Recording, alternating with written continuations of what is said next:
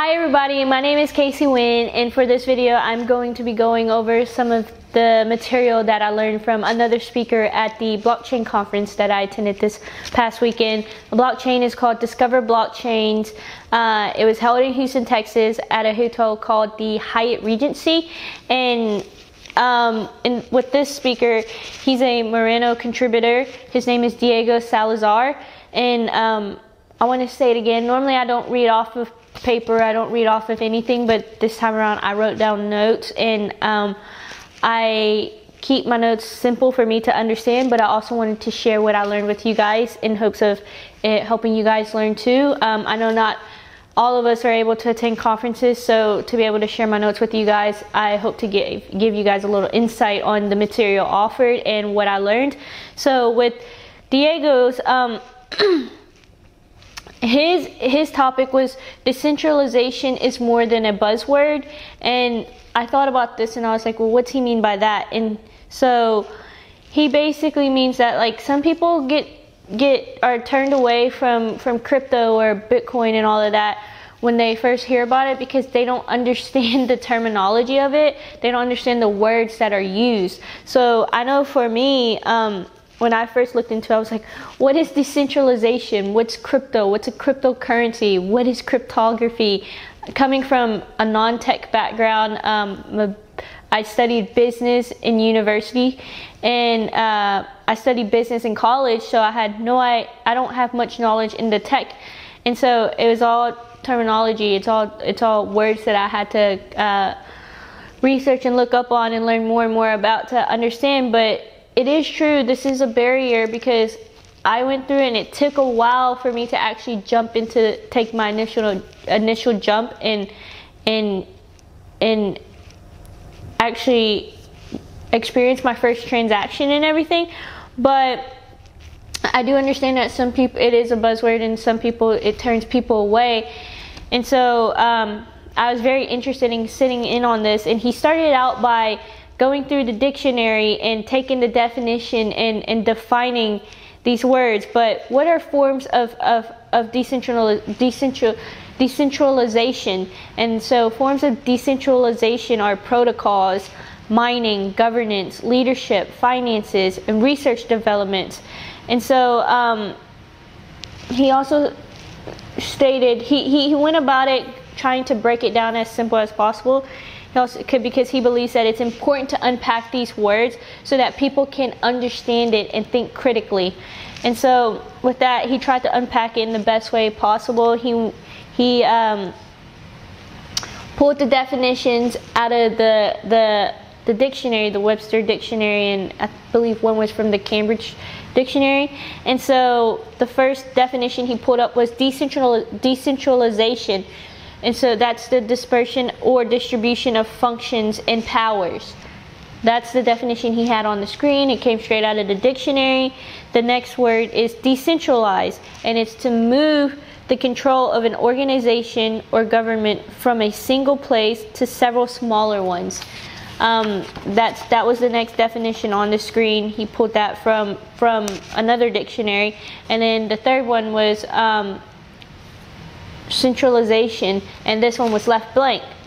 So how he went about this, he's like, centralized, he basically said, well, um, you would think it'd be the opposite of decentralized.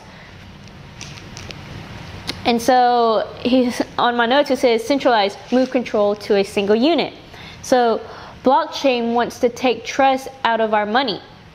And, and, and blockchain is anyone who wants a copy, they can have it and, and the, the development is who writes the codes and the finances, who follows the money. Research, who is doing the research and and to think practical about it because it is reality. And so so with that being said, um,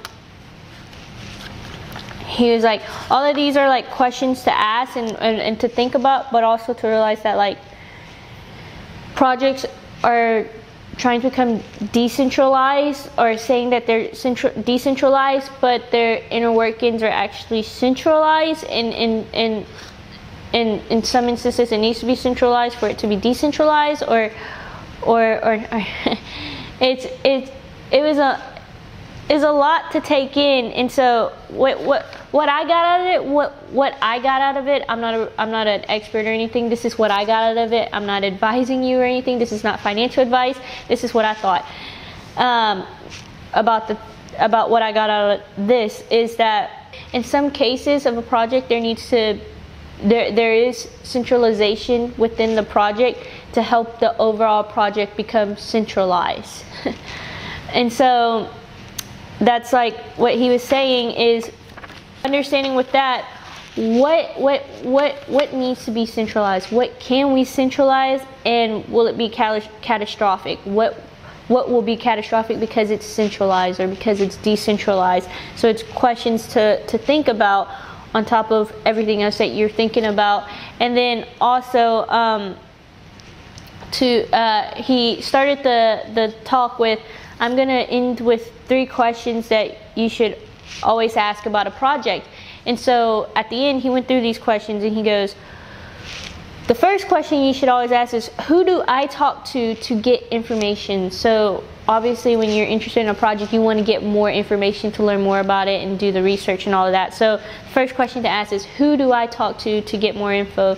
And then the second question is, what is centralized and why? So that's like saying the question on I mentioned before, what can we centralize and what will be catastrophic? Well, when you ask them what is centralized and why, you can get a general understanding of why that section is centralized. Will it be catastrophic? Will it not? It's up to your determination how you take it. Um, but it's a question that he suggested you ask about every project about about a project, a project that you're interested in. And the third question is, what can I learn from history? So, what can you learn from the past? Uh, that uh, the past of that project. What have they done? What what if they had any flaws? How did they fix it? What was their response to it?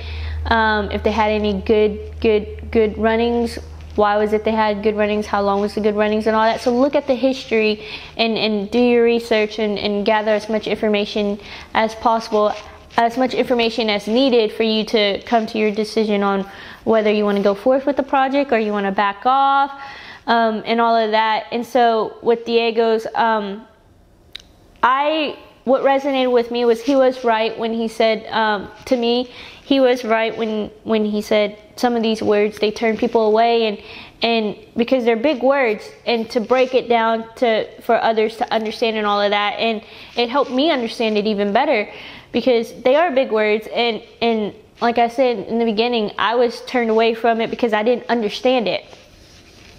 And and and I'm finding avenues to learn more and more and more, like attending this blockchain conference, Discover Blockchains, and and with Diego, I really like that, and I appreciate his chat with with uh his I appreciate his talk about this this topic and and thank you for for talking about this and explaining it and and assisting me in learning more and I hope you guys were able to learn off of this and understand understand something new um, if you didn't understand it before or if you learned something new uh, that makes me happy. If you did let me know in the comments and suggestions below. And if you like our channel please subscribe to it. And if you like this video please give it a thumbs up